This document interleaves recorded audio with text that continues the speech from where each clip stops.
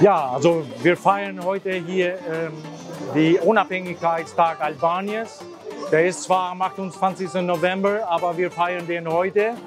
Und ich freue mich riesig, dass so viele Albaner hier von der ganz äh, Norddeutschland gekommen sind. Und ich freue mich sehr, dass meine Einladung auch Herr Moritz das gefolgt hat und hier bei uns ist. Ich freue mich riesig, dass auch viele Kinder hier mit dabei sind und ich glaube, das ist ein sehr guter Anfang und nächstes Jahr werden wir auch was ganz Besonderes machen. Vielen Dank.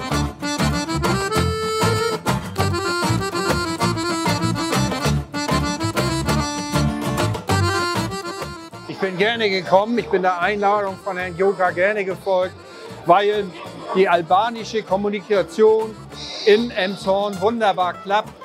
Die Albaner haben sich hervorragend in Emshorn integriert, ohne, und das sehen wir hier am lebenden, am vielfältigen Beispiel, ohne ihre eigene Kultur aufzugeben. Und das freut mich so besonders. Ich danke Herrn Joka, weil er sich so engagiert hier in Emshorn, damit die Integration funktioniert. Vielen Dank.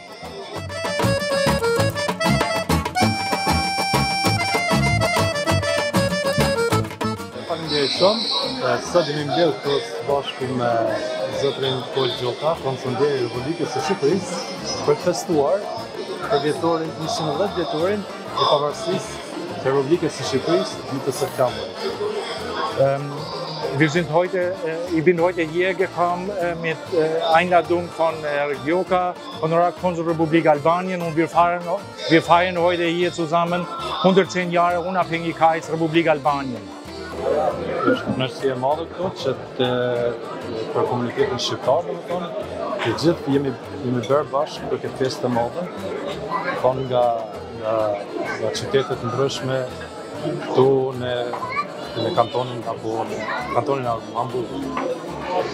Es freut uns sehr, dass wir heute alle Albaner hier zusammengekommen hier, äh, gekommen sind, hier in, in äh, Schleswig-Holstein und auch von Hamburg aus.